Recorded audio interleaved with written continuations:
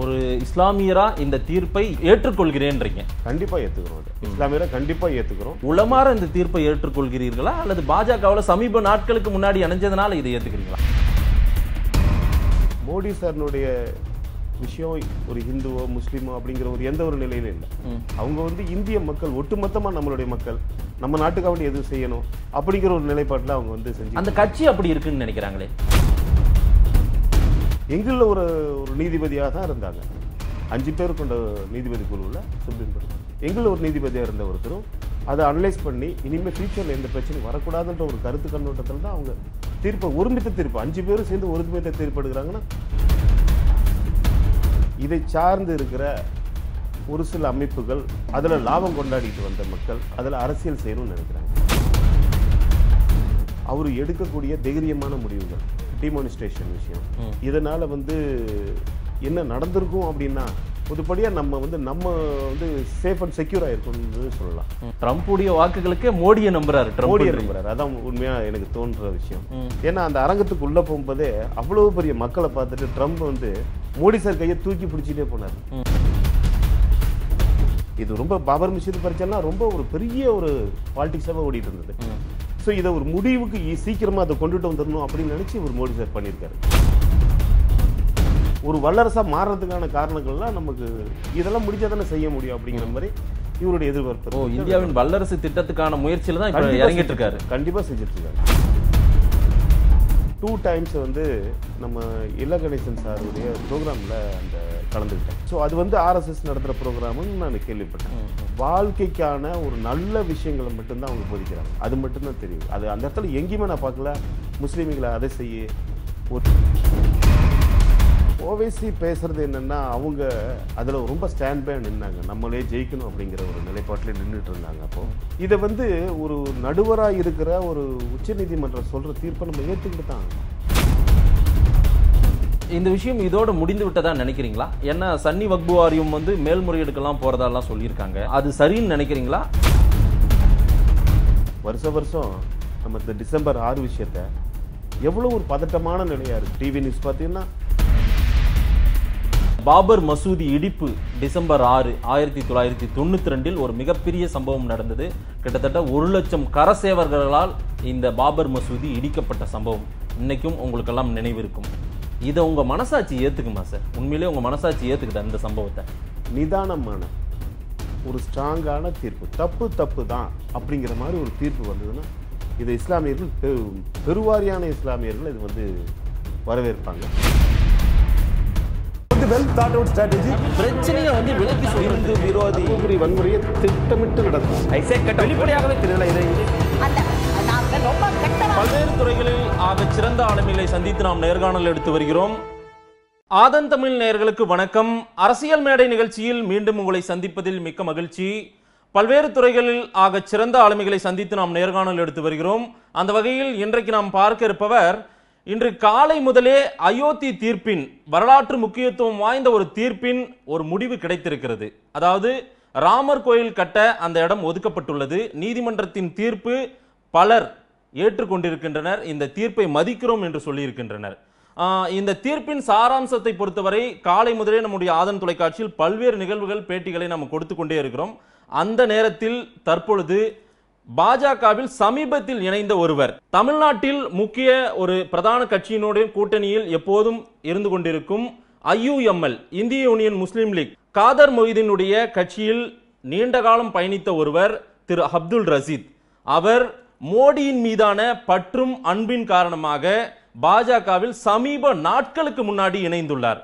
அவர் நம் அரங்கத்திற்கு வந்துள்ளார். இந்த தீர்ப்பு குறித்து அவர் எப்படி பார்க்கிறார் என்று கேட்டு பெறுவோம். வணக்கம் திரு அப்துல் ரசீத் சார். வணக்கம் வணக்கம். நல்லா இருக்கீங்களா? நல்லா இருக்கு. அப்துல் ரசீத் நீங்க வந்து அடிப்படையில் ஒரு இஸ்லாமியன் குரான் படிக்கக்கூடியவர் தினந்தோறும் தொழுகை பண்ணக்கூடியவர் ஐந்து முறை. கண்டிப்பா. ஆஹ், நீங்க இந்த அயோத்தி தீர்ப்பு ஒரு வரலாற்று முக்கியத்துவம் வாய்ந்த ஒரு தீர்ப்பு நீண்ட காலமாக இந்த தீர்ப்புக்காக இந்தியாவே எதிர்பார்த்து கொண்டிருந்ததுன்னு கூட சொல்லலாம். கண்டிப்பா. நேற்றைக்கெல்லாம் பாதுகாப்பெல்லாம் ப- கடுமையா இருந்தது. எந்த ஒரு பிரச்சனையும் வந்துடக்கூடாதுன்னு ஒரு மத நல்லிணக்கம் இந்தியாவில் நாம உண்மையாவே ஒற்றுமையா இருக்கோம் அப்படின்றத காட்டிட்டோம் இந்த நேரத்துல நாம பேசிட்டு இருக்கும்போது நீங்க எப்படி பாக்குறீங்க திரு அப்துல் ரசீத் இந்த ஒரு தீர்ப்பை இந்த ஒரு தீர்ப்பை எப்படி பார்க்குறேன்னா இது வந்து பொதுவாகவே ரெண்டு மக்களுக்கும் இந்து முஸ்லீம் இந்த மாதிரி இருக்கிற ரெண்டு மக்களுக்குமே ஒரு சரியான தீர்ப்பு தான் இது. எப்படின்னா இது வருஷ வருஷம் அதுக்கு பயந்துக்கிட்டு நிறைய மக்கள் வந்து பெரிய பிரச்சனைகள் வச்சுக்கிட்டு அது ஒரு டிசம்பர் ஆறு அப்படிங்கிற மாதிரி ஒரு பெரிய ஒரு விஷயமா கிரியேட் பண்ணியே கொண்டு போய்கிட்டு இருந்தாங்க. ஸோ இது வந்து அந்தந்த நாளில் வருஷ வருஷம் நம்ம வந்து பயந்து பயந்து போயிட்டு இருக்கிறத விட டிசம்பர் ஆறு பாபர் மசூதி இடிப்பு தினம்னா ஒரு பதற்றமான ஒரு நிலை இருக்கும். பதற்றமான இருக்கும். அன்னைக்கு ஃபுல்லாக போலீஸ் பாதுகாப்பு நிறைய ஃபோர்ஸஸ் அங்கே பிரச்சனை இங்கே பிரச்சனை ஓடிட்டு இருக்கு. ஸோ இந்த விஷயத்தில் வந்து பொதுவாகவே இதில் நிறைய பேர் அரசியல் பண்ணிக்கிட்டு இருந்ததுல முடிஞ்சு போய் இப்போ தீர்ப்பு வந்து ச சுமூகமாக ரெண்டு பேத்துக்குமே வந்து சேர்ந்ததுனால ரொம்ப சந்தோஷமான ஒரு நிலைப்பாடு தான் அது. ரெண்டு மக்களும் அவசியம் இதை ஏற்றுக்கணும் அது மட்டும் இல்லாமல் வேற ஏதாவது இதுல இருந்து குழப்பத்தை உருவாக்கி போகாமல் இருந்தால் ரொம்ப நல்லாயிருக்கும். ஒரு இஸ்லாமியரா இந்த தீர்ப்பை ஏற்று ஏற்றுக்கொள்கிறேன்றீங்க. கண்டிப்பாக ஏற்றுக்கிறோம் அதை இஸ்லாமியரை கண்டிப்பாக ஏற்றுக்கிறோம் சரி. ஸோ இதில் ஒரு மாற்று கருத்து எதுவுமே இல்லை. ஏன்னா பொதுவாகவே ஒரு சுப்ரீம் கோர்ட் தீர்ப்பை வந்து ஒரு அஞ்சு நீதிபதிகள் வந்து அமர்ந்து இந்த தீர்ப்பை வந்து முழுமையாக அவங்க விசாரித்து தான் தீர்ப்பு சொல்கிறாங்க அப்படிங்கும்போது கண்டிப்பாக நம்ம இந்திய இறையாண்மையை பாதுகாக்கிற நிலையில் இருக்கிற விஷயத்தில் கண்டிப்பாக இதை நம்ம உளமாற இந்த தீர்ப்பை ஏற்றுக்கொள்கிறீர்களா? அல்லது பாஜகவுல சமீப நாட்களுக்கு முன்னாடி இணைஞ்சதுனால இதை ஏத்துக்கிறீங்களா? பாஜகவில் இணைஞ்சது ஒன்றும் கிடையாது. மோடிஜி பிடிக்கும் அப்படிங்கிறதுனால பாஜகவில் நம்ம இணையக்கூடிய சூழ்நிலை வந்துச்சு. அதில் வந்து இது பாஜகவுக்கும் இதுக்கும் சம்மந்தம் இல்லாத ஒரு விஷயம்தான். ஏன்னா மோடிஜி வந்து அவங்க கருத்தை வந்து கரெக்டாக பதிவு பண்ணி இதை செய்கிறாங்க. அது மேலே எந்த ஒரு ஆட்சி நிலை இருந்தால் அது கட்சி சார்ந்து உள்ள விஷயங்கள் கிடையாது. சரி. ஸோ இது ஒரு பொதுவாகவே மோடி சாரினுடைய ஒரு சரியான ஒரு தீர்ப்பு. எப்படின்னா இதை சீக்கிரம் அந்த கேஸை முடிக்கணும் அப்படிங்கிறதுனால இதை வந்து கொண்டுட்டு போகிறாங்கன்றது மட்டும் தோணுது. அருமையான தீர்ப்புன்றீங்க. அருமையான தீர்ப்பு இது. அதாவது ஆரம்பத்தில் இந்த அயோத்தி தீர்ப்பு சம்பந்தமான ஒரு நேர்காணல்ன்றதுனால உங்களுடைய பார்வை என்னன்னு கேட்டுட்டேன். முதல்ல திரு அப்துல் ரசீத் யாரு? ஐயுஎம்எல் அதாவது இந்திய யூனியன் முஸ்லீம் லீக்ல இருந்திருக்கீங்க. அப்புறம் ஒரு குறைந்த நாட்களுக்கு முன்னாடி தான் பாஜகவில் இணைஞ்சிருக்கீங்க. யார் இந்த அப்துல் ரசீத் என்ன மோடி மேல அவ்வளோ ஒரு ஈர்ப்பு ஒரு பற்று ஒரு காதல்? அது ரெண்டாயிரத்தி பதினாலுல இருந்தே மோடி சாரை நான் வாட்ச் பண்ணிட்டு இருக்கேன். வெளிநாட்டு சுற்றுப்பயணம் இந்தியாவுடைய நிலைப்பாடு அவங்க எந்த அளவுக்கு இதை ஸ்டாண்ட் பண்ணி கொண்டுட்டு போறாங்க அப்படின்னு. ஏன்னா இதுக்கு முன்னாடி வந்து காங்கிரஸினுடைய கவர்மெண்ட் வந்து ஒரு பத்து வருஷம் ஆண்டாலும் ஒரு நிறைய ஒரு நிலை மாற்றங்கள் தோணுச்சு. அதனால தான் அதை வந்து மக்கள் வந்து புறக்கணிச்சிட்டு இது வந்திருக்காங்கன்னு தோணுது எனக்கு. ஸோ மோடி சாரினுடைய நிலைப்பாடு வந்து ஃபஸ்ட்டு பீரியடில் வந்து நிறைய விஷயங்கள் நிறைய மக்களுக்கு புரியாமலே இருந்துச்சு. என்ன இவங்க இது மாதிரிலாம் பண்ணுறாங்கன்னு வெளிநாட்டு பயணங்கள் அதிகமாக இருக்குது திடீர்னு வந்து பண மாற்று முறைகள் மாறி இருக்குது அந்த இந்த மாதிரி நிறைய மாற்றங்கள் வந்து கொண்டுட்டு வந்துக்கிட்டே இருந்தாங்க. ஸோ மக்களுக்கு புரியாத விதமாக தான் இருந்துச்சு. ஸோ இப்போ இருக்கிற இந்திய மக்கள் ஒட்டுமொத்தமாக மோடி சாருக்கு வந்து செகண்ட் ஃபுல் ஃப்ளெஜரான சான்ஸ் கொடுக்கும்போது அப்போ மக்கள் டோட்டலாக இதை ஏற்றுக்கிட்டாங்கன்றது அர்த்தம். மோடியை ஏத்துக்கொண்டாங்கன்றீங்க. மோடி கண்டிப்பாக ஏற்றுக்கிட்டாங்க உங்களை போல மோடியை தமிழக மக்கள் இந்தியா முழுவதும் ஏத்துக்கிட்டாங்கன்றீங்க. இந்தியா முழு ஏற்றுக்கிட்டதுனால தான் அவர் வந்து பிரதமராக மாறி வந்திருக்கிறாரு. சரி இல்ல அது அந்த தாக்கம் இருக்கு. பாஜகவுக்கு எந்த அளவுக்கு இந்தியாவுல செல்வாக்கு இருக்குன்றதை நம்ம உணர முடியுது. நாம தமிழ்நாட்டை சேர்ந்தவர்கள் தமிழர்கள் இங்க ஒரு ஒரு மோடி எதிர்ப்பு அலைன்னு ஒரு கட்டமைக்கப்பட்டதாகலாம் சிலர் சொல்றாங்க. அதே மாதிரி மோடி எதிர்ப்பு அலை இங்க கொஞ்சம் வீரியமா தான் நம்முடைய வாதமா இருக்கு. நீங்க என்ன பதில் சொல்ல விரும்புறீங்க இதுக்கு? இதுக்கு முன்னாடி வேணால் சொல்லலாம். எப்படின்னா டூ தௌசண்ட் ஃபோர்டீனுக்கு முன்னாடி உள்ள விஷயங்கள் அல்லது டூ தௌசண்ட் ஃபோர்டீனுக்கு அப்புறம் ஃபர்ஸ்ட் பீரியட் வரலையும் அந்த ஐந்து ஆண்டுகள் மொத அந்த ஐந்து. முதல் ஐந்து ஆண்டுகள். அதுக்கு முன்னாடி இருந்த பிஜேபியினுடைய விஷயங்கள்லாம் இங்கே பெரிய அவங்கள பற்றி பெரிய கொடூரக்காரர்கள் அப்படி மாதிரிலாம் சித்தரிச்சு கொண்டு போயிட்டு இருந்தாங்க. ஸோ இப்போ பாஜக வந்து நியூட்ரலான நிலை அப்படிங்கிறத கொஞ்சம் லேட்டாக புரிஞ்சுக்கிட்டு மக்கள் வந்து இதை ஆதரிக்க தொடங்கியிருக்காங்க.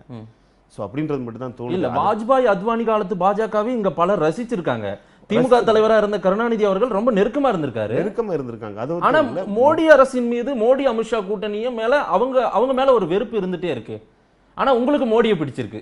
அது என்னன்னா அப்படியெல்லாம் ஒன்றும் இல்லை. அவங்க ஒரு சரியான நிலைப்பாட்டில் தான் இருக்காங்க. யார் மோடி சாராக இருக்கட்டும் அமித்ஷா சாராக இருக்கட்டும் அவங்க வந்து கரெக்டான ஒரு நிலைப்பாட்டில் தான் இந்தியாவை ஒட்டுமொத்தமாக எப்படி கட்டுக்காத்து கொண்டு போகணும் நம்ம உலக அரங்கில் நம்ம இந்தியாவை எப்படி வந்து நிலைநிறுத்தணும் அப்படிங்கிற விஷயத்தில் அவங்க முயற்சி செஞ்சுட்டு இருக்கிறாங்க. ஸோ இங்கே தமிழ்நாட்டு அரசியல் வந்து ஏடிஎம்கே டிஎம்கே இவங்க வந்து ரெண்டு பேருடைய அரசியல் தான். ரொம்ப காலமாக மக்கள் பார்வையில் இருந்துகிட்டு இருக்கிறதுனால அதனுடைய விஷயங்கள் வந்து இப்போ அதே மாதிரி போயிட்டு இருக்கு ஸோ இப்போ இருக்கிற பிஜேபியினுடைய ஒரு முயற்சியும் மோடி சாரினுடைய ஒரு பெரிய ஒரு அவேர்னஸ் அவர் அவரை பற்றின ஒரு என்ன மாதிரி இருக்கிற விருப்பமானவர்கள்லாம் கண்டிப்பாக பிஜேபி ஆதரிப்பாங்கன்னு தோணுது. வருங்காலத்தில் அவங்களோட மாற்ற நிலைக்கு கொஞ்சம் மாறும்னு எதிர்பார்க்குறோம். இல்ல நார்த்ல இருக்கிற இஸ்லாமிய மக்கள் கூட ஏத்துக்கிட்டாங்களா? நம்ம தமிழ்நாட்டுல பரவலா இல்லைன்னு நான் என்னுடைய வாதம் மட்டும் கிடையாது மக்களே அதான் சொல்லுவாங்க. நம்ம போற போக்குல நீங்க பாஜகவை சேர்ந்தவர்ன்றதுனால நான் அப்படி கேள்வி கேட்ட முடியாது. நார்த்ல இருக்கிற இஸ்லாமிய மக்கள் கூட ஏத்துக்கிறாங்களா மோடியை? ஏன் நீங்க நார்த்துக்கு போறீங்க? தமிழ்நாட்டுல இருக்கிற முஸ்லீம்களே இப்ப கொஞ்சம் கொஞ்சமா மாறிக்கிட்டு வர்றாங்களே. அப்படியா? பாஜகவும் ஏத்துக்கிறாங்க மோடி சாரை ஏத்துக்கிறாங்க. அப்படிங்கிற நிலைப்பாடு தானே இப்ப கொஞ்சம் கொஞ்சமா போயிட்டு இருக்கு. எக்ஸாம்பிள் என்னையெல்லாம் பார்த்தோம்னா நான் விருப்பப்பட்டு தானே போயிருக்கேன். என்னை யாரும் வந்து அழைப்பு கொடுக்கலையே. பிஜேபியில் வந்து சேருங்கன்னு என்னை யாரும் வந்து ஃபோர்ஸ் பண்ணி கூப்பிடல. ஓ முஸ்லீம்களே மனம் மாறிட்டாங்க மனம் மாறிட்டு வர்றாங்க இப்போ. காரணம் என்னன்னா அவங்களுடைய மோடி சார்னுடைய விஷயம் ஒரு ஹிந்துவோ முஸ்லீமோ அப்படிங்கிற ஒரு எந்த ஒரு நிலையிலும் இல்லை. அவங்க வந்து இந்திய மக்கள் ஒட்டுமொத்தமா நம்மளுடைய மக்கள் நம்ம நாட்டுக்காக வேண்டி எதுவும் செய்யணும் அப்படிங்கிற ஒரு நிலைப்பாட்டில் அவங்க வந்து செஞ்சு அந்த கட்சி அப்படி இருக்குன்னு நினைக்கிறாங்களே? மோடிக்கு அப்படி இல்லைன்றீங்களா அப்படி? அப்படி இல்லை. அது கட்சி தான் மோடி சாரை வந்து சரி பண்ணிக்கிட்டு வராங்க. அப்படிங்கல அது ஒரு பாஜக வந்து நான் பொதுவாக என்ன சொல்ல வரேன்னா அவங்க எந்த ஒரு திணிப்புலையுமே இல்லை அப்படின்றது மட்டும்தான் நமக்கு தெளிவாக புரிய வருது. எப்படின்னா இந்துனா அப்படி இல்லை முஸ்லீம்னா அப்படி அப்படிங்கிற நிலைப்பாடு இல்லை. அவங்க வந்து ஒட்டுமொத்த இந்தியாவை நம்ம பார்க்கணும். அப்படிங்கிற நிலைப்பாடில் தான் அவங்க இருக்கிறாங்கன்னு தோணும் திரு ரசித் சார் என்னுடைய முக்கியமான கேள்வி மதவாத அரசியல் செய்யறாங்க பாஜக அப்படின்னு சொல்றாங்க. நீங்க அதை வந்து பாஜகவை மட்டும் தனியா பிரிச்சு பார்க்குற மாதிரி எனக்கு என்னமோ தெரியுது. உங்க வாதம் மோடியை மட்டும் தான் நீங்க ரசிக்கிற மாதிரி தெரியுது. மோடியை ரசிச்சா பாஜகவும் மோடியும் ஒன்று தானே அது சரிதான். மோடியும் பாஜகவும் ஒன்று தான் ஆமா. பாஜக வந்து வேற பெருசா அவங்க வந்து திரிக்கிற மாதிரி தெரியல. எக்ஸாம்பிள் இப்போ வந்திருக்கிற ஒரு தீர்ப்பு வந்து இது பிஜேபி ஆள்ற அரசாங்கத்துல தான் சீக்கிரமா கொண்டு வந்தாங்க. ஸோ இதுக்கு முன்னாடி இது காலங்காலங்களா ஒரு கடந்து போன விஷயங்களை வந்து இம்மீடியட்டாக அது சீக்கிரம் ஒரு முடிவு காணுமே. இதனால ஒரு பதட்ட நிலையை தணிச்சு இந்திய மக்கள் சுபிச்சமாவும் நல்லா வாழணும். அப்படிங்கிற ஒரு நிலைப்பாட்டுக்கு தானே இவங்க கொண்டு வந்திருக்காங்க. ஸோ அப்போ நம்ம பாஜக வந்து தப்பு இல்லை. முஸ்லீம்களுக்கு எதிரானவங்க அப்படின்னு நம்ம திருத்தத்துக்கான விஷயங்கள் இல்லையே இப்போ சமீபத்துல பாஜகவுல இணைஞ்சதுனால இந்த நான் கேள்வி கேட்கல. உண்மையிலே ஒரு அடிப்படை முஸ்லீம் நான் வந்து குர்ஆன் படிக்கிற முஸ்லீம் ஐந்து முறை தொழுகிற முஸ்லீம்னா இந்த தீர்ப்பு சரியான தீர்ப்பு அப்படின்னு உங்களால சொல்ல முடியுமா? கண்டிப்பா இது சரியான தீர்ப்பு தான். நம்ம கால சூழ்நிலையில அரசு அரசர்கள் ஏன் இவ்வளவு உணர்ச்சி பூர்வமா இந்த கேள்வி கேட்கறேன் தெரியுங்களா? இந்து முஸ்லிம்களுக்கு எதிரான ஒரு வழக்கு ரெண்டு பேருக்குமான போட்டியான வழக்குன்னு சமீபத்துல மூணு மாசத்துக்கு முன்னாடி திரு ஸ்ரீ ஸ்ரீ ரவிசங்கர் போன்றவர்கள்லாம் ஒரு அமைப்பு ஒரு ஒரு கூட்டமைப்பு வச்சு அவங்க பேச்சுவார்த்தை நடத்திய தோல்வியான ஒரு வழக்கு இது. அதுக்கு பிறகு உச்சநீதிமன்றம் இன்னைக்கு ஒரு தீர்ப்பு கொடுத்துருக்கு. அதனால தான் இந்த வார்த்தையை நான் அவ்வளோ உக்கிரமா சொல்றேன். நீங்க உண்மையாவே இந்த வழக்கை ரசிக்கிறீங்களா? ஏத்துக்கிறீங்களா? கண்டிப்பா ஏத்துக்கிட்டு தான் ஆகணும். ஏன்னா உச்சநீதிமன்றம் கொடுக்குற கொடுக்குற தீர்ப்பு வந்து கண்டிப்பா நம்ம மக்கள் ஏத்துக்கிட்டு தான் ஆகணும் போத் சைட்ஸ் உங்களுக்கு பாபர் மசூதி வேண்டாம் வாங்க. பாபர் மசூதி இத்தனை நாள் அதுக்காக தானே. கோரிக்கையை விடுத்தாங்க. அதுக்கான கோரிக்கைகள் அது வேற விஷயம். ஏன்னா அன்றைய காலகட்டத்துல இது ஒரு பிரச்சனையா ஆக்கிட்டு போட்டு சமத்துவம் அப்புறம் எங்க இருக்கு? இங்க. நம்ம ஒரே நாட்டுல வாழ்றோம். இந்துக்களாகவும் முஸ்லீம்னாவும் ஒரே இதுல இருக்கோம். அப்படிங்கும்போது நம்ம இது எனக்கு கொடு உனக்கு கொடு அப்படின்னு இது ஒரு வாதமா போய்கிட்டு இருந்தது இல்லையா? சரி இந்த வாதத்தும் ஏதாவது ஒரு அடிப்படையில வாதமா போயிட்டு இருந்தது. அந்த அடிப்படையே ஒரு சரியான அடிப்படை இல்லை அப்படின்னு ஒரு நிறுவனம் வரும்போது ஒரு பொதுவாக கொடுக்குற ரிப்போர்ட்ஸ் வச்சு தான் நம்ம ஜட்ஜஸ்லாம் வந்து ஒரு முடிவுக்கு வர்றாங்க. முடிவு வந்து அந்த தீர்ப்பை நம்ம ஏற்றுக்கணும் ஸோ அதை விட்டுட்டு இல்லை இது இப்படி தான் இருக்கணும் இப்படி தான் இருக்கணும் நம்ம திணிக்கப்பட்டுட்டே இருந்தோம்னா நம்ம இஸ்லாமியர்களாக இருக்கட்டும் இல்லை இந்துக்களாக இருக்கட்டும் இதில் ஒரு ஒற்றுமையை காண முடியாதே. ஒரு குடும்பத்தில் இந்த மாதிரி ஒரு பிரச்சனை இருக்குன்னா இதை தீர்த்தா தானே மற்றவங்களுக்கு நம்ம சரியாக போக முடியும். அப்படிங்கிற கண்ணோட்டத்தை தான் மோடி சார் போய்கிட்டு இருக்காங்க. சரி. ஸோ இதுதான் எனக்கு தெரிஞ்ச புரிஞ்ச விஷயங்கள். சார் உங்களுக்கு பாபர் மசூதி வேணாவா சார் அந்த இடத்துல? அதுக்கான ஒரு போராட்டம் தானே சார் இந்து முஸ்லிம்களுக்கான ஒரு போராட்டம் இந்த வழக்கின் வீரியத்தன்மையை பொறுத்து தான் இன்னைக்கு இவ்வளவு பெரிய பாதுகாப்பை முன்னிறுத்தி கடந்த ரெண்டு மூன்று நாட்களாக பலப்படுத்தப்பட்டு இப்படி ஒரு தீர்ப்பு வழங்கியிருக்கு. உங்களுக்கு அது வேண்டான்ற மாதிரி சொல்றீங்க அந்த இடத்துல? வேண்டான்றது இல்லை அதில். ஸோ எங்களுக்கு சாதகமாக வரும்னு நாங்களும் எதிர்பார்த்த விஷயம்தான். ஸோ இந்து அமைப்புலையும் அப்படி தான் இருந்திருப்பாங்க ஸோ இதில் ரெண்டு பேர்த்துக்கும் காம்ப்ரமைஸ் பண்ணுறதுக்கு முடியாது. ஸோ இது எதையாவது ஒன்று ஒன்று அந்த மக்கள் அதில் விரும்புகிறாங்கன்னு சொல்லி ஸோ அதிகமாக அவங்க இந்துக்கள் வாழ்கிற இடம் இருந்துக்கிட்டு இருக்கிற இடத்துல முஸ்லீம்களுக்கு ஆமாம் கொடுக்குறேன்னு சொன்னால் அதில் வந்து ஒரு பிரச்சனைகள் தான் உருவாகும். அடிக்கடி இப்போ போயிட்டு இருக்கிற பிரச்சனை நாளைக்கு வேறு விதமாக வரலாம். அப்படிங்கிறத கருத்தில் கொண்டு இப்போ எங்கள் எங்களில் ஒரு ஒரு நீதிபதியாக தான் இருந்தாங்க. அஞ்சு பேர் கொண்ட நீதிபதி குழுவில் சுப்ரீம் கோர்ட்டில் எங்களில் ஒரு நீதிபதியாக இருந்த ஒருத்தரும் அதை அனலைஸ் பண்ணி இனிமேல் ஃபியூச்சரில் எந்த பிரச்சனையும் வரக்கூடாதுன்ற ஒரு கருத்து கண்ணோட்டத்தில் தான் அவங்க தீர்ப்பை ஒருமித்த தீர்ப்பு அஞ்சு பேரும் சேர்ந்து ஒருமித்த தீர்ப்பு எடுக்கிறாங்கன்னா இது சரியான தீர்ப்பு தானே? ஸோ அப்படிங்கும்போது நம்ம அதை ஏற்றுக்கணும் காலையில இருந்து இந்த தீர்ப்பை வாட்ச் பண்ணீங்களா முழுமையா? ம் முழுமையாக வாட்ச் பண்ணேன் நான். உங்களுடைய அந்த இஸ்லாமிய சமூக மக்கள் சிறுபான்மை மக்கள் என்ன நினைக்கிறாங்க சார்? இந்த தீர்ப்பு காலையில இருந்து என்ன மாதிரி வார்த்தைகள்லாம் நீங்க பேசிக்கிட்டீங்க உங்களுடைய சுற்று வட்டாரங்கள்ல? சமுதாய மக்கள் என்ன நினைக்கிறாங்கன்னா அவங்க எல்லாருமே வரவேற்கிறாங்க இந்த விஷயத்தை. ஸோ ஒரு சில அமைப்புகள் இதை சார்ந்து இருக்கிற ஒரு சில அமைப்புகள் அதில் வந்து அதில் லாபம் கொண்டாடிட்டு வந்த மக்கள் அதில் அரசியல் செய்யணும்னு நினைக்கிறாங்க. ஸோ அந்த அவங்களுக்கு வேணா இது ஒரு பெரிய ஒரு இழப்பீடா இருக்கலாம் ம். ஆனா பொதுவா இருக்கிற மக்கள் வந்து வருஷம் வருஷம் இந்த பிரச்சனை இல்லாம இருக்குமே. இனி நிம்மதியா இருக்கலாமே. அப்படிங்கிற ஒரு நிலைப்பாட்டுக்கு அவங்க ரெடி ஆயிட்டாங்க. இல்ல அதுதான் அந்த.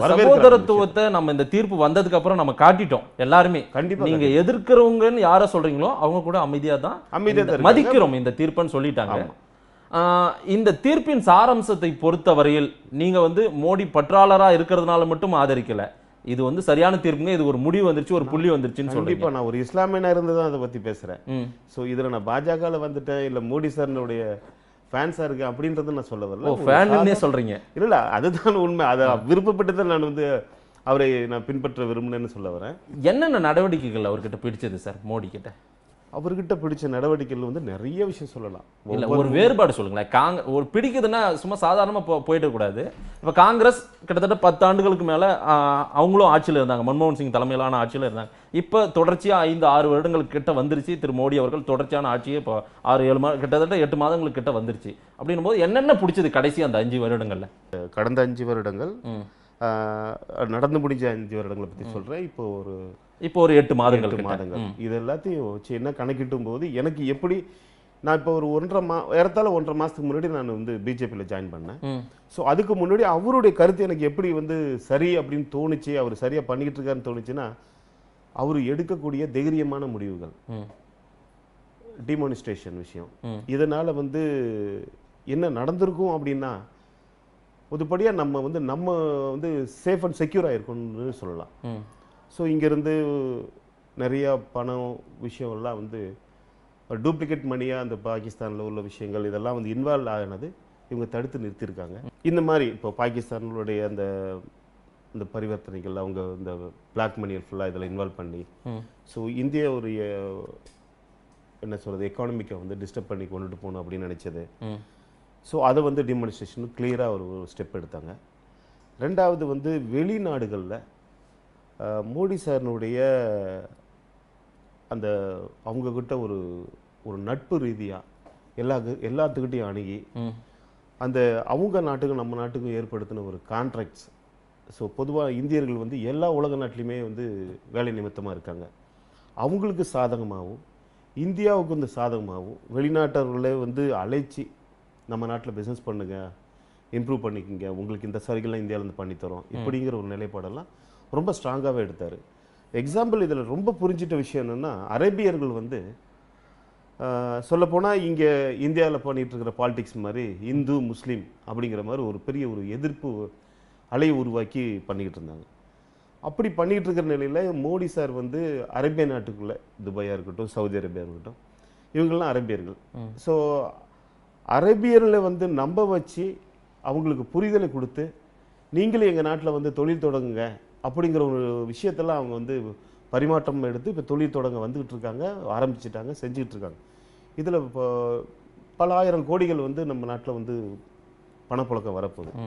ஸோ இந்த சூழ்நிலையில் அப்போது ஒன்றுமே கிடையாது அப்போ வந்து என்ன சொல்ல வரேன்னா ஒரு இந்து முஸ்லீம் அப்படின்ற பாகமணியெல்லாம் களைஞ்சி ம். வெளிநாட்டு அரேபியர்களே நம்ம நாட்டில் வந்து பிசினஸ் தொடங்க வர்றாங்க அப்படின்னா இதெல்லாம் ஒரு பெரிய சந்தோஷமான விஷயம். வேற எந்த பிரதமர்களும் இந்த மாதிரி சந்திச்சு வந்து பண்ணிக்கிட்டது கிடையாது. ஸோ இது டோட்டலி எக்கானமிக்கை டோட்டலி ஸ்ட்ராங் பண்ணுறதுக்காக எடுத்துக்கிட்டு இருக்கிற முடிவு. ஸோ நம்மளை விட பன்மடங்கு உலகத்தில் வந்து முன்னேறிய நாடுகள். அமெரிக்கா ரஷ்யாஸ் இந்த மாதிரி இருக்கும்போது அமெரிக்காவில் இன்னைக்கு பெரிய ஒரு நமக்கு நல்ல பேர் இருக்குன்னா இவர் அடிக்கடி போய் சரியான ஒரு ஸ்ட்ராங் அக்ரிமெண்ட் இந்த மாதிரி உருவாக்கின ஒரு விஷயங்கள். ரெண்டாவது இப்போ லாஸ்ட்டாக கூட நம்ம மோடி சாரினுடைய பயணம் வந்து அமெரிக்காவில் வந்து ட்ரம்முக்கு ஓட்டு வாங்கி கொடுக்குற ஒரு நிலை விஷயத்தை கூட நம்ம இந்தியர்களே ஒரு கூட்டமைப்பாக அமைச்சு ஒரு அரங்கத்துக்குள்ள. அவங்கள எல்லாமே நாங்கள்லாம் இப்படி இருக்கோம் ஒற்றுமையாக இருக்கோம் உங்களுக்கு பா உங்களை வந்து ஸ்ட்ராங் பண்ணுவோம் ஃபியூச்சரில் அப்படின்னு சொல்லி ட்ரம்ப்புக்கு வந்து ரொம்ப ஒரு உறுதியான முடிவை சொன்னது விஷயம். ட்ரம்ப்புடைய வாக்குகளுக்கே மோடியை நம்புறாரு மோடி ட்ரம்ப் நம்புறாரு. அதான் உண்மையா எனக்கு தோன்ற விஷயம். ஏன்னா அந்த அரங்கத்துக்கு உள்ள போகும்போதே அவ்வளவு பெரிய மக்களை பார்த்துட்டு ட்ரம்ப் வந்து மோடி சார் கையை தூக்கி பிடிச்சிட்டே போனார். ஸோ ரொம்ப டிஸ்டன்ஸ் இருந்தது அந்த வாக்கபிள் அந்த வளர்ந்த ஒரு நாட்டின் அதிபரே அதிபரே. மோடியை நம்புறாரு. ஆமா. மோடி வந்து நம்பினாரு. நம்புறது மட்டும் இல்ல அதை வந்து இவர் சாதனையாவும் புரிந்து செய்தார் இல்லையா. இந்த மாதிரி இந்தியாவில் இருந்த எந்த பிரதம பிரதமரும் ஒரு அந்நிய நாட்டுல போய் இந்த மாதிரி ஒரு விஷயத்தை கிரியேட் பண்ணதே கிடையாது. ஸோ அந்த விஷயம் எனக்கு ரொம்ப இம்ப்ரெஸ் பண்ணுச்சு ஸோ எப்படின்னா அங்கே போய் ஏன் நம்ம ஆள் செய்யணும் அப்படிங்கிறத கேட்டானா ஒரு நட்பு உறவு தான். ஸோ அதனால தான் இப்போ இந்தியாவுக்குள்ளே இருக்கிற இந்த மாதிரி சின்ன சின்ன விஷயங்கள் இது ரொம்ப பாபர் மசீது பிரச்சனைலாம் ரொம்ப ஒரு பெரிய ஒரு பாலிடிக்ஸாகவே ஓடிட்டு இருந்தது. ஸோ இதை ஒரு முடிவுக்கு ஈ- சீக்கிரமா அதை கொண்டுட்டு வந்துடணும் அப்படின்னு நினச்சி இவர் மோடி சார் பண்ணியிருக்காரு. ஸோ இவங்கெல்லாம் சொல்லி இதை கொஞ்சம் சீக்கிரம் முடிச்சிருங்களேன் நம்ம அதுக்கும் அப்பாற்பட்டு நிறைய இருக்கு. ம். ஒரு வல்லரசா மாறுறதுக்கான காரணங்கள்லாம் நமக்கு இதெல்லாம் முடிஞ்சா தானே செய்ய முடியும் அப்படிங்கிற மாதிரி இவருடைய எதிர்பார்ப்பு ஓ. இந்தியாவின் வல்லரசு திட்டத்துக்கான முயற்சியில தான் இப்ப இறங்கிட்டு இருக்காரு. இருக்காங்க. கண்டிப்பா செஞ்சுட்டு இருக்காங்க அது அப்படி நடந்துருன்றீங்க கண்டிப்பா நடக்கும். ஒரு ஷார்ட் அப் பீரியட்ல கண்டிப்பா நடக்கும். இஸ்லாமிய மக்களுக்கு இஸ்லாமிய அந்த இயக்கங்களுக்கு கட்சிகளுக்கு ஆர்எஸ்எஸ்னா ஒரு வெறுப்பு இருக்கும். ஆர்எஸ்எஸ் தான் பாஜகவை வழி நடத்துது மோடியை வழி நடத்துதுன்றாங்க உங்க பார்வையில நீங்க இப்பதான் போய் சேர்ந்திருக்கீங்க பட் உங்க பார்வையில நீங்க எப்படி நினைச்சு பாக்குறீங்க இதை? ஆர்எஸ்எஸ் பத்தி எனக்கு சரியா அவ்வளவு தூரம் தெரியாது. ஏன்னா இப்போ நான் தான் ஒரு இன்டர்வியூ இருந்ததுனால. இதுக்கு முன்னாடி ஆர்எஸ்எஸ் நாங்க பார்த்த பார்வை ஆஸ் முஸ்லீம் லீக்ல நான் இருக்கும்போது. ஸோ ஆர்எஸ்எஸ் வந்து இதை செய்யும் அதை செய்யும் இப்படி வந்து பிரச்சனைகளை உருவாக்கும். இப்படின்னு சொல்லி தான் எங்களுடைய தலைவர்கள் சொல்லி வளர்க்கப்பட்ட விதம் நீங்க. வளர்க்கப்பட்ட விதம். அவ்வளவுதான் நான் புரிஞ்சுக்க முடியும் நான் டைரெக்டாக வந்து அவங்கள பத்தி என்ன நான் படிக்கல. அதை பத்தி பார்க்கல. இப்போ ரீசெண்டாக ஒரு டூ டைம்ஸ் வந்து நம்ம இல கணேசன் சாருடைய ப்ரோக்ராமில் அந்த கலந்துக்கிட்டேன். ஸோ அது வந்து ஆர்எஸ்எஸ் நடத்துகிற ப்ரோக்ராம்னு நான் கேள்விப்பட்டேன். அதில் நான் போய் பார்க்கையில உண்மையிலேயே அவங்க வந்து வாழ்க்கைக்கான ஒரு நல்ல விஷயங்களை மட்டும்தான் அவங்க போதிக்கிறாங்க. அது மட்டும்தான் தெரியுது. அது அந்த இடத்துல எங்கேயுமே நான் பார்க்கல. முஸ்லீம்களை அதை செய்ய ஒரு இடையூறுப்படுத்து அதை பிரச்சனை பண்ணி இதை பிரச்சனை பண்ணி எங்கேயுமே நான் பார்க்கல அதை. ஸோ வாழ்வியல் கல்வியை ரொம்ப எளிமையாக அவங்க வந்து கொண்டு செலுத்துனது அந்த ப்ரோக்ராம்ஸ்லாம் நான் பார்த்தேன். அது எனக்கு உண்மையிலேயே ரொம்ப பிடிச்சது சார் நான் கேட்ட கேள்வியிலே நீங்க முழு முழுசா எனக்கு பதில் சொல்லல. என்னன்னா ஆர்எஸ்எஸ்ஸின் வழியா தான் மோடி ஆட்சி செய்றாரு. ஆர்எஸ்எஸ் தான் மோடியை வழி நடத்துதுன்னு சொல்றாங்க அப்படின்னு கேட்டேன். நீங்க அதை விட்டு மத்த பதில சொன்னீங்க. ஆர்எஸ்எஸ் வழி நடத்துகிறாங்க அப்படிங்கிறத பற்றி அதுக்குள்ளே நம்ம ம். மோடி சாரை எல்லாத்துக்கும் பிடிச்சிருக்கு. அவருடைய திறமையான ஒரு அட்மினிஸ்ட்ரேஷன் விஷயத்தில் அவர் வந்து உலக தலைவர்களே அவரை ஏற்றுக்கிட்டு தான் அவர் கூட நல்ல நட்பான இணக்கத்தை வந்து ஒரு ஸ்ட்ராங் அக்ரிமெண்ட் கொண்டுட்டு வராங்க. ஸோ அப்படி இருக்கும்போது இதை இதை பின்னாடி வந்து யார் இயக்குனா அப்படிங்கிறதெல்லாம் வேணாம். அவரை வந்து எல்லாரும் ஏற்றுக்க ரெடியாக இருக்காங்க. அவரை ஏற்றுக்கிட்டோம் உலக நாடுகள் அவரை பற்றி ஏற்றுக்குது ஸோ அந்த மாற்ற நிலை போதுமே நமக்கு. இன்னும் டீப்பாக இன்னும் உள்ளேருந்து யார் அதை புஷ் பண்ணுறாங்க அது யார் என்ன செய்கிறாங்க அப்படிங்கிற நிலைப்பாடு நமக்கு இப்போதைக்கு தேவையில்லாத இருக்குது அது சரியான நிலைப்பாடாக இருந்ததுனால தானே அவர் வந்து உலகம் போற்றுற லெவலில் அவர் வந்து மாறிக்கிட்டு வருது. இந்தியாவை ஒரு நல்ல ஒரு இடத்துக்கு கொண்டுட்டு போயிட்டு இருக்காங்களே. அப்படிங்கிறது நமக்கு உறுதியாக தோணுது இல்லையா அது போதுமே. இதில் எந்த இயக்கங்களை அவரை புஷ்பேக் பண்ண என்ன இருக்கு? சரி. ஆ, நீங்க வந்து ஐயுஎம்எல் இருந்ததுனால இந்த கேள்வியை கேட்குறேன் இங்க இருக்கிற இஸ்லாமிய இயக்கங்கள் எல்லாம் மோடியை எதிரியாவே பார்க்கறாங்க பாஜகவை எதிர் எதிர் துருவமா எங்களுக்கான பிரதான எதிரி பாஜகன்றாங்களே. என்னென்ன விஷயங்கள் அவங்க தவறு பண்றதா நீங்க நினைக்கிறீங்க உங்க பார்வையில? அது என்ன விஷயம்னா இவங்க வந்து சரியா இப்போ பாஜக அவங்களுடைய நோக்கம் என்ன? ஆர்எஸ்எஸ் அவங்களுடைய நோக்கம் என்ன? இப்படிங்கிறத ஒரு சரிவர எக்ஸ்போஸ் பண்ணி மற்ற மக்களிடையில கொண்டுட்டு போகல. இதை வந்து அரசியல் வந்து எப்படி புரிதல் வேணும்னா பொதுவாகவே இந்து முஸ்லீம் இவங்க ரெண்டு பேருமே பகையாக இருந்தால் தான் நம்ம அதில் லாபம் கொண்டாட முடியும் அப்படிங்கிற பார்வையில் இருந்த கொஞ்சம் ஒரு சில அரசியல்வாதிகள்.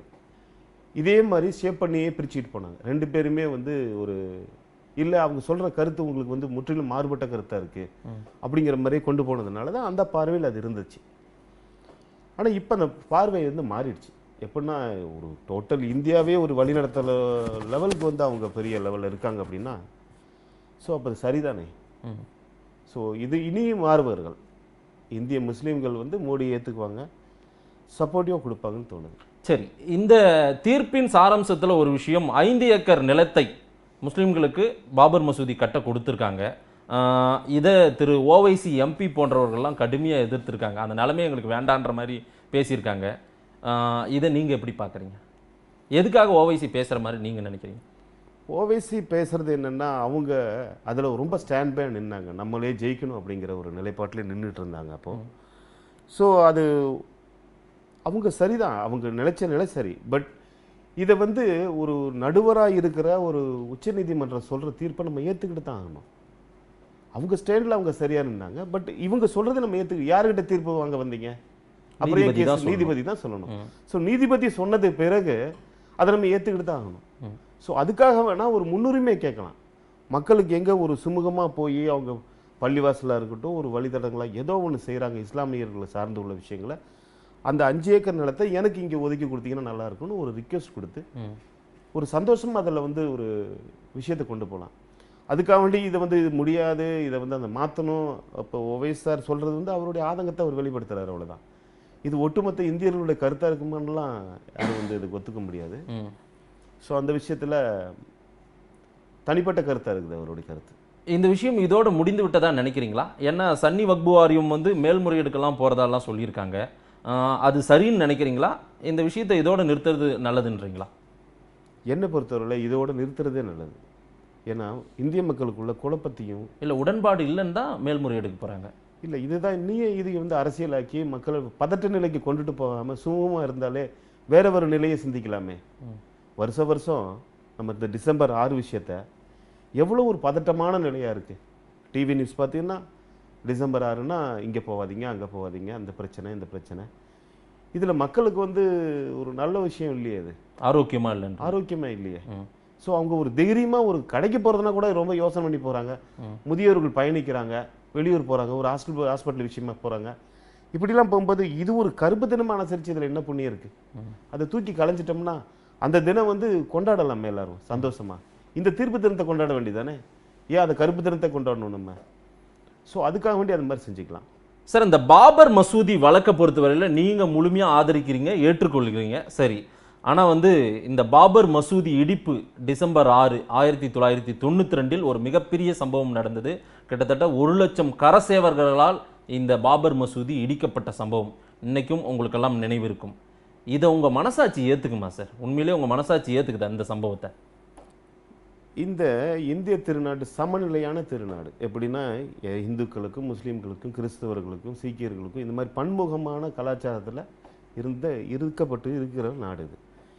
இந்த மாதிரியான நாட்டில் இந்த கரசேவர்கள் அன்னைக்கு எடுத்த ஒரு நிலைப்பாடு வந்து தவறானது தான். அதை ஏற்கக்கூடியதல்ல.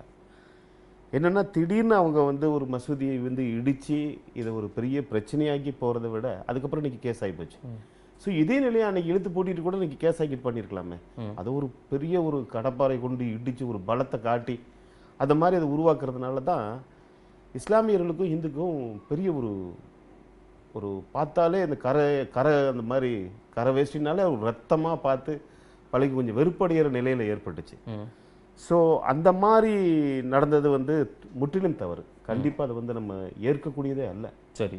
இந்திய இறையாண்மைப்படி அது ஏற்கக்கூடியது அல்ல அதனால தான் நிறைய பிரச்சனைகளை நம்ம அடுத்தடுத்த நிறைய விஷயங்களை நம்ம இஸ்லாமியர்களும் இந்துக்களும் பெரிய ஒரு மோதல் போக்கு இருந்தது. பெரிய மோதல் போக்கு இருந்துச்சு. இப்போ இந்த விஷயமா இது வந்து இப்போ இதனுடைய முடிவு மூலியமா மக்களுக்கு வந்து ஒரு சமநிலையான தீர்ப்பு வரும். அதே மாதிரி இந்த சமநிலையான தீர்ப்பு அன்னைக்கு பாபர் மசூதியை இடித்த கரசேவர்களாக இருக்கட்டும் ஸோ அவங்க கூலிப்படைகளாக இருக்கட்டும் யாராக இருந்தாலும் அவங்களுக்கு இதே போன்ற ஒரு தீர்ப்பு அமைஞ்சா இஸ்லாமியர்களுக்கு ரொம்ப ரொம்ப ஒரு நல்ல விஷயமா எதிர்பார்ப்பாங்கன்னு தோணுது இந்த தீர்ப்பு ராமர் கோயிலை கட்டணும் அப்படின்றத ஆதரிக்கிறீங்க.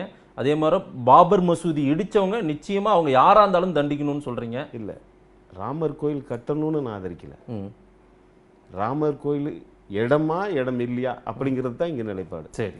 ஸோ அந்த ராமர் கோயில் அவங்க அவங்க கட்டிக்கிறாங்க இல்லை ராமர் ஒரு நெடுவிடமாக வச்சுக்கிறாங்க. அதை பற்றியான இஷ்யூஸ் ஒன்றுமே இல்லை. இப்போது இவங்களுக்கு தனியாக இடம் கொடுத்துட்டதுனால சுப்ரீம் கோர்ட் அலாட் பண்ணிட்டதுனால அவங்க அவங்க நிலைப்பாடு என்னவோ அவங்க ஒரு மணி மண்டபமாகவோ ஒரு ஏதோ ஒரு இஸ்லாமிக் ட்ரெடிஷ்னல் பார்க் மாதிரியோ அது மாதிரியோ ஏதோ ஒன்று பண்ணிட்டு போகலாம் ஸோ இதில் இந்த கரசேவர்கள் இடித்தார்கள் இல்லையா? அன்னைக்கு வந்து கேஸ் ஆச்சு இல்லை. இத்தனை பேருக்கு மேலே கேஸ் ஆச்சு. இவங்கெல்லாம் அதில் சப்போர்ட்டிவாக இருந்தாங்க அப்படிங்கிறதுல அது வந்து ஒரு நிதானமான ஒரு ஸ்ட்ராங்கான தீர்ப்பு. தப்பு தப்பு தான் அப்படிங்கிற மாதிரி ஒரு தீர்ப்பு வந்ததுன்னா இதை இஸ்லாமியர்கள் பெ பெருவாரியான இஸ்லாமியர்கள் இது வந்து வரவேற்பாங்க. ஸோ அப்போ தான் இந்தியாவில் இருக்கிற இறையாண்மை சரியாக இருக்குன்றதையும் புரிஞ்சுக்குவாங்கன்னு எனக்கு தோணுது. பிறப்பால் நான் ஒரு இஸ்லாமியன். பாஜக ஏதோ மோடி ஏதோ பா- முஸ்லிம்களுக்கும் இஸ்லாமியர்களுக்கும் எதிரானவர் என்ற ஒரு கட்டமைப்பை இங்க உருவாக்கிட்டாங்க. அப்படி ஒண்ணும் கிடையாது. இங்க பாருங்க நான் மாறிட்டேன். என்ன மாதிரி பல கூட்டங்கள் இங்க மாறி வரும். மோடியை ஏத்துப்பாங்கன்ற சொல்ற மாதிரி தான் உங்களுடைய வார்த்தைகள்லாம் இல்லை அது எப்படி நான் சொல்ல வரேன்னா இப்போ பாஜக தான் இஸ்லாமிக்கு எதிரானவர்கள் அப்படிங்கிறதெல்லாம் இல்லை. இது ஒரு கட்சி. இந்திய அரசியலமைப்பு சட்டப்படி ஒரு கட்சி இது. இந்த கட்சி வந்து மக்களுக்கு தான் சேவை செய்ய வந்திருக்கு. வேற இதில் வந்து மக்கள்னா மக்கள் பொதுவாகவே இங்கே இருக்கிற வாழ்கிற எல்லா எல்லா ஜாதியினரும் மதத்தினரும் வந்து இப்போ அவரவர்கள் போற்றக்கூடிய அவரவர்கள் வாழ்க்கை முறைப்படி அவங்க வாழக்கூடிய விஷயங்களை வந்து அனுசரித்து அதை ஒரு அட்மினிஸ்ட்ரேட் பவர் கொண்டு போய் செலுத்துறது தான் ஒரு இப்போ மோடி சார் இந்த மாதிரி ஒரு பிரைம் மினிஸ்டருடைய நிலைப்பாடு. ஸோ இந்த விஷயத்தில் எல்லாருமே அதை ஏற்றுக்கலாம் இதனால இது பின்னாடி ஒரு பெரிய எதிர்ப்பு அப்படி இப்படி அப்படின்லாம் சொல்கிறதுக்கான சரி. விஷயங்கள் இல்லைன்னு தோணுது இதில். நிறைய விஷயங்கள் சொல்லியிருக்கீங்க திரு அப்துல் ரஷீத் சார் அதை வந்து மக்கள்கிட்ட கொண்டு போறோம். நீங்கள் சொல்லிய வார்த்தை உண்மையா பொய்யான்றதை மக்கள் தான் தீர்மானிக்க போறாங்க. கண்டிப்பாக நன்றி. நன்றி. நன்றி நேர்களே. மீண்டும் ஒரு அரசியல் மேடை நிகழ்ச்சியில் சந்திப்போம். நன்றி. வணக்கம்.